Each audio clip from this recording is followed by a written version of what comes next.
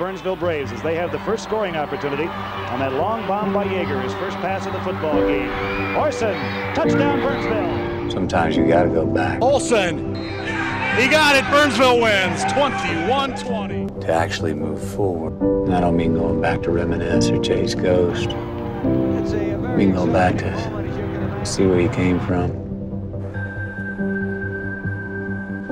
Where you been, how you got here see where you're going. You hold up that trophy at the end of the night. Play with fire and snarl. I'm telling you, you guys, not only can win, you can win big. I know there are those that say you can't go back. Yes, you can. Just have to live in the right place. Do you believe in each other?